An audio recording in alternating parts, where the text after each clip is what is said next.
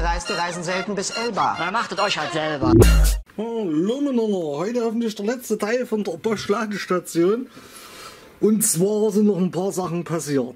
Erstens mal habe ich festgestellt, dass dieser Kühlkörper hier schleift bzw. angeht.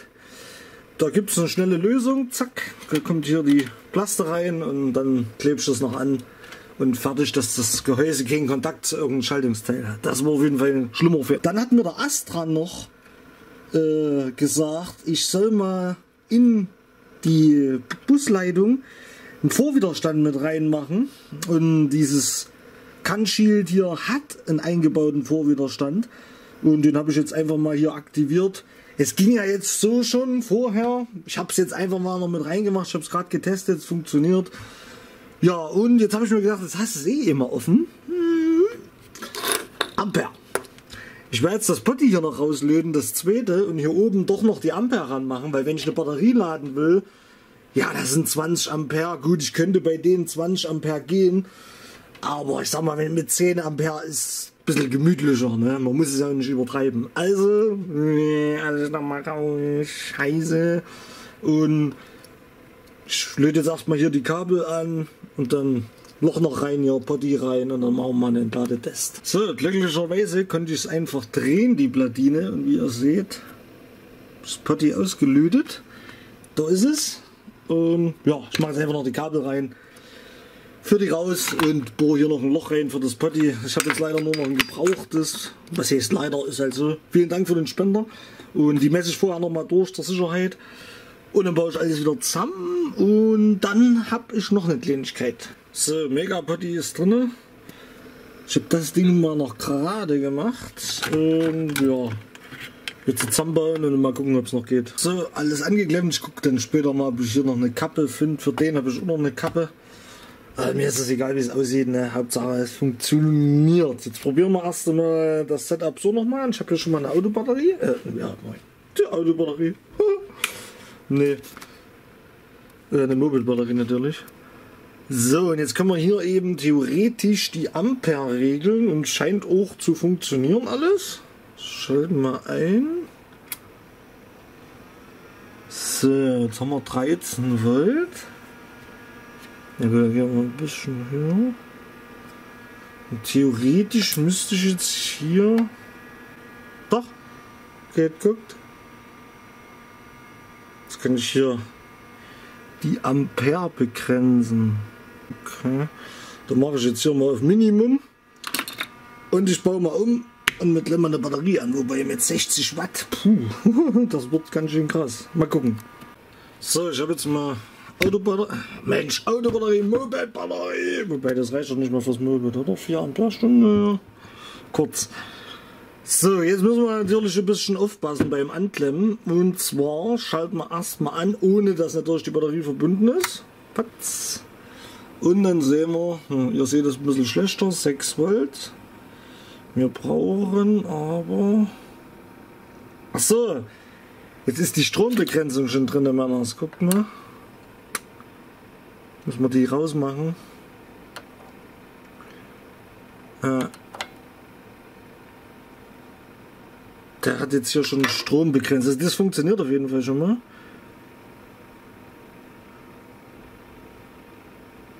So, ne, keine Ahnung. Ich würde sagen, machen wir mal 14. 14,4. Ja, komm.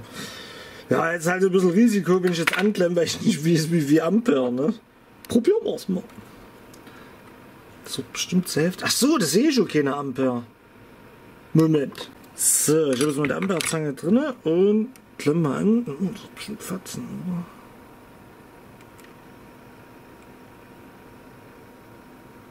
Nee. Hä? Das macht ja gar nicht. Da müssen wir mal schnell die Spannung, also seit die Batterie matsch ist. Ja. 14 Watt, 16 Watt. Nicht abmach.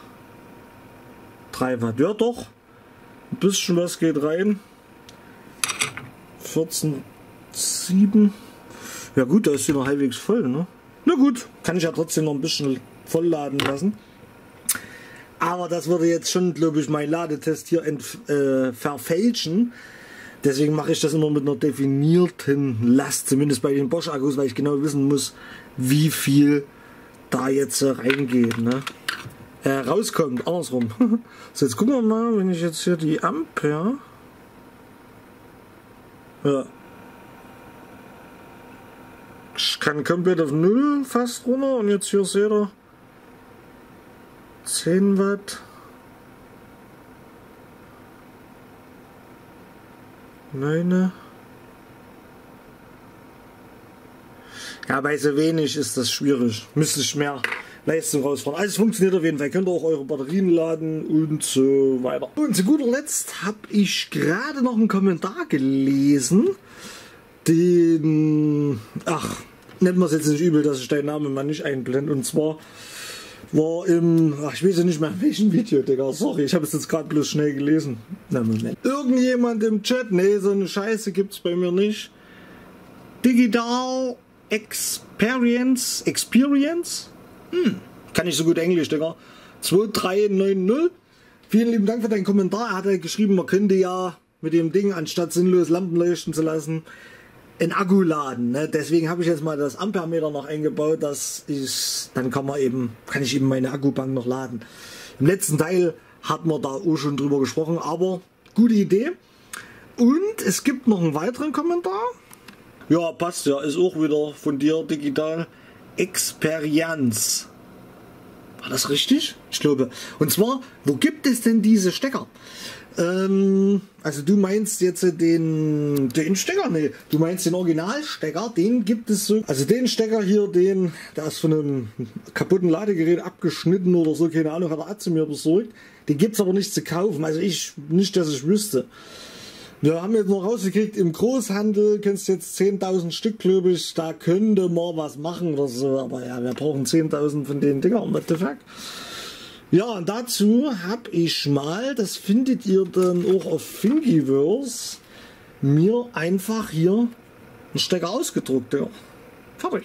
3D-Drucker. Ne? Ich habe jetzt mal die zwei Teile hier.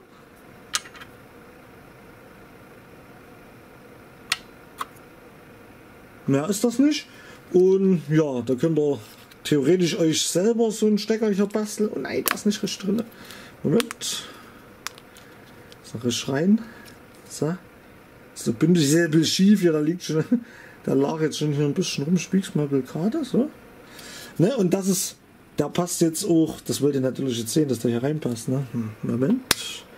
Machen wir hier aus. Ich werde den Link zu den Dingern hier, beziehungsweise sucht euch lieber selber einen bei Thingiverse. Da gibt es einige verschiedene. Ne? Also die erste Version, die ich runtergeladen habe, die war scheiße. Und ja, müsst ihr selber mal ein bisschen gucken. Ich habe dann von der einen Version das Ding genommen, das kann ich euch in der Beschreibung hauen. Und von der anderen Version das und habe das glaube ich 8% größer gemacht im Slicer, dass ich es einfach hier oben drüber stecken kann. Ne? Fertig. So, hier ist jetzt, äh, das wäre quasi jetzt der vollwertige Stecker von Bosch, 5 polisch. Braucht ihr aber nicht unbedingt. Ne? Stecken jetzt mal rein, zack. Sieht auch halbwegs okay aus, ob ich ihn jetzt wieder rauskriege. Na gut, wenn ich so hebe, kriege ich ihn raus. Und das sind einfach so Kfz. Das sind einfach hier so Flachsteckerhülsen im Kfz. Ihr seht, meine Box ist jetzt schon leer hier. Weil ein paar Kollegen wollen das hier auch haben. Und dann muss ich das über. Ja, ihr wisst, so eine Flachsteckerhülse hier, die hier Gegenstück, Babi, ne? Mutti, Babi.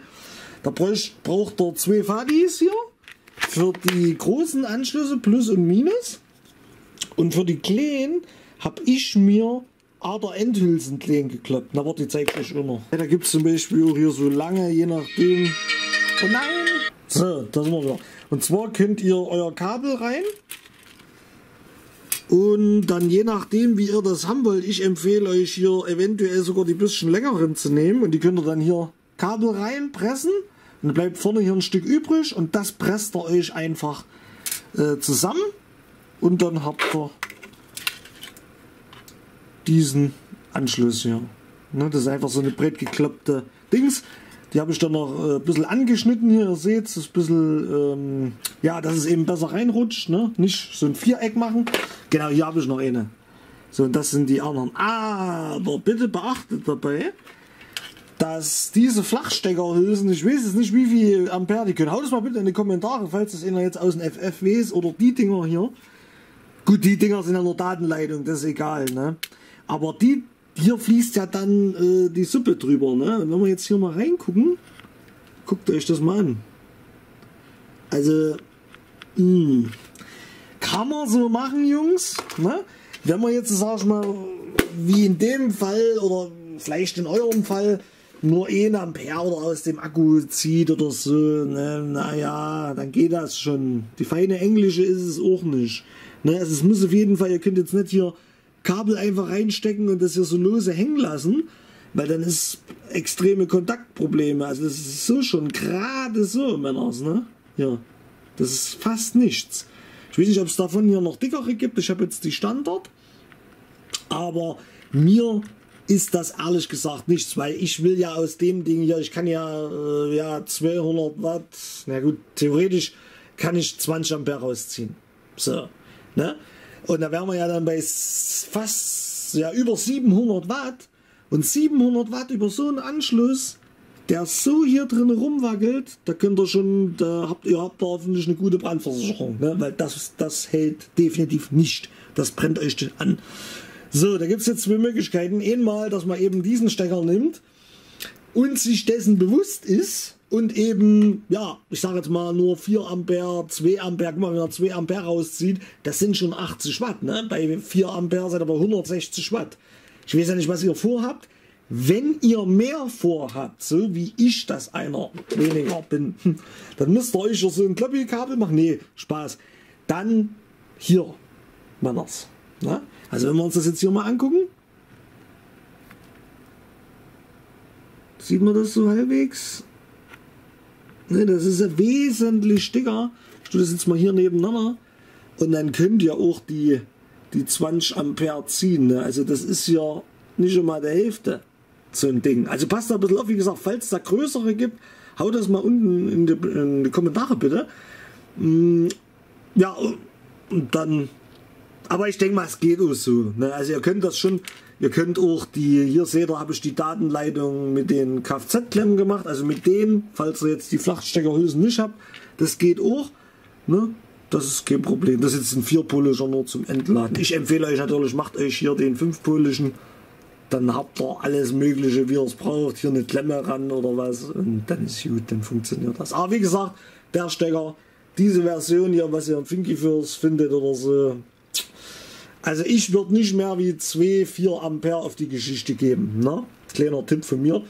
Falls da einer einen findet, der ein bisschen besser designt ist, eher so in meine Richtung hier, weil ich habe jetzt auch keinen Bock, mich hier und keine Zeit, mich hinzusetzen, das zu konstruieren und umzutüdeln, schickt mir da bitte mal einen Link, Männers. Und ansonsten, wer keinen 3D-Drucker hat und hier auch mit Bosch rumfummeln will, äh, und ja, jetzt keine Ahnung, meinetwegen hier so ein Ding haben will, dann meldet euch einfach mal bei mir oder so und dann das könnt ihr für Apple ein Ei kriegen, das ist der Versand das teuerste, ne? ist klar. Ähm, ja, oder ihr druckt euch halt selber. Oder ihr sagt, ja, keine Ahnung, ich habe noch einen Kumpel oder wir sind eine kleine Bastelgemeinschaft, da drucke ich euch mal fünf oder so, weißt du, da lohnt sich's. Ansonsten, also ich empfehle euch sowieso zwei oder so, Bärde brauchen, ne? Und ja, da würde ich euch einfach den Stecker dann schicken. So, Ne, das könnt ihr euch dann selber zurecht basteln, ja, mit Heißleim oder ich hab's, ne, ihr könnt ja die Stecker rein hier und dann mit Sekundenkleber und äh, Backpulver oder irgendwas die Löcher dann hier auffüllen und dann ist das bombenfest. Kleiner Tipp noch, wenn ihr das mit Sekundenkleber und macht, müsst ihr dann, hier seht ihr noch so ein paar Reste, das läuft ja dann runter, das müsst ihr wegkratzen, weil sonst habt ihr keinen Kontakt hier, ne? Das sieht man ein bisschen gut. Und dann funktioniert das alles auch. Und ich würde sagen, damit können wir jetzt das Ganze auch abschließen. Falls ihr nichts mehr habt oder so, ist das jetzt von meiner Seite her abgeschlossen. Funktioniert alles. Ampere, Volt, blub und hier noch ein kleines Extra. Wie gesagt, ich haue euch mal den, den Link nochmal in die Beschreibung von den Dingern, obwohl ich die nicht 100% empfehle. Ne? Einfach nur, dass ihr das auch drucken könnt. Tschüssi!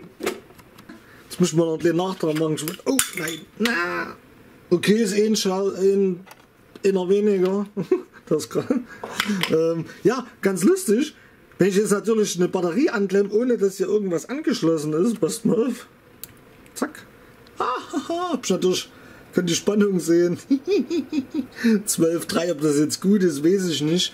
Aber ja, kann ich auch mal die Spannung mir angucken. Als Endladen, oh, perfekt. Like nicht vergessen. Tschüss.